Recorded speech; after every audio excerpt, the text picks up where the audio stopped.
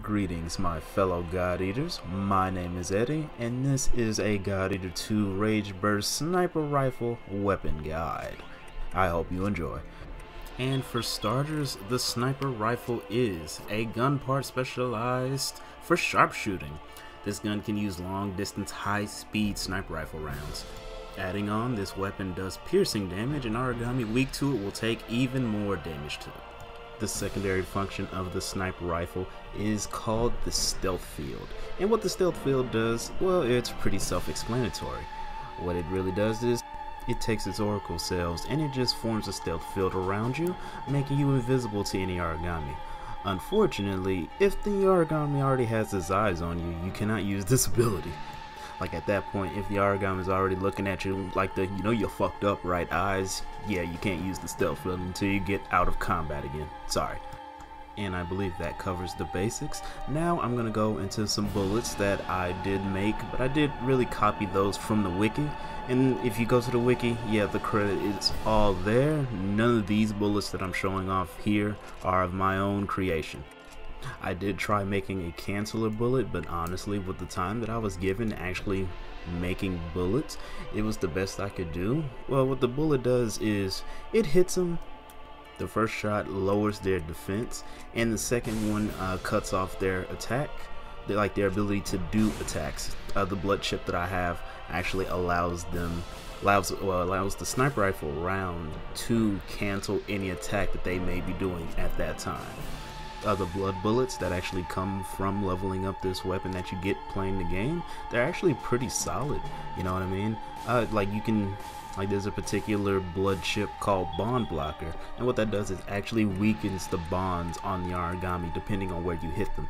Like say a Vajra, if you hit them in the head, it lowers their defense of the, it lowers the defense of the bonds on their head and with some of the special bullets that I'm going to show you in this video a lot of them utilized the ultra range blood chip which increases the damage done depending on how far they go and quite honestly my bullets pale in comparison to these. So I'm just gonna go ahead and start the show off these bullets to you guys now.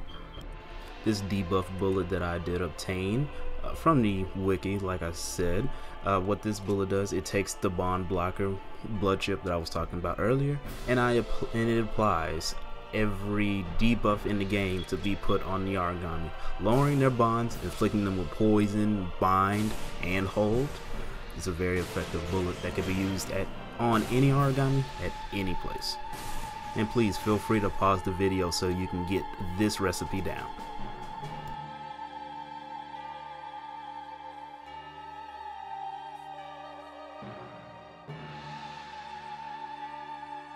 Another popular bullet that I did obtain from the wiki is called the loop bullet. Uh, what it does, I believe it takes the ultra range blood chip and it takes a lot of decorative lasers which will orbit in place, well orbit into a circle coming back to hit them again. This bullet and a lot of other bullets you will probably be better off playing online with someone to get as they already have it made and making it from scratch, well you can be prone to messing it up a lot. Nonetheless, it is a very effective bullet and I have it right here to go back through it again just so you guys can see it and get this recipe down.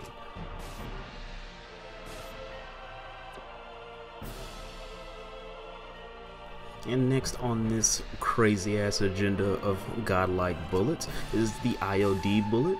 What this does is it uses the ultra range blood chip and it uses sphere and devour to maximize damage and you're supposed to use this on targets that are standing still.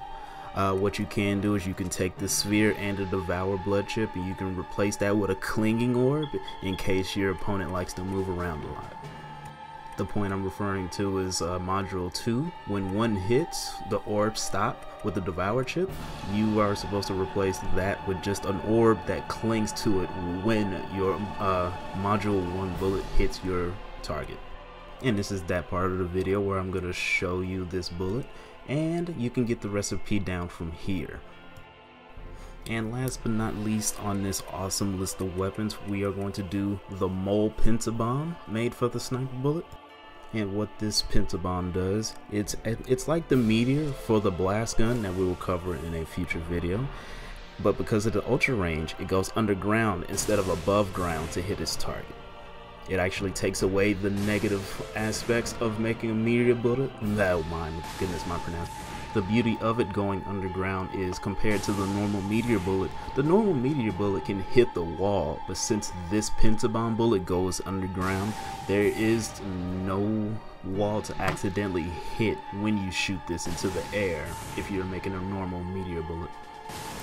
Also, I hope you guys enjoyed these. I'm going to put some gameplay in the background using all these bullets. But something to know now, two things. My sniper rifle at the time of this video was not at the highest rank, so of course my numbers are a lot lower. And also adding on, I will post the page where I got these bullets from in the description below. Uh, if you go to the God Eater 2 wiki page and look at the bullet creations, there's a lot of them there. Uh, most of them for the blast gun, of course, but I was able to make uh, find a few gems from that page alone. But I hope you enjoy and enjoy the gameplay in the background, and I hope you like the video.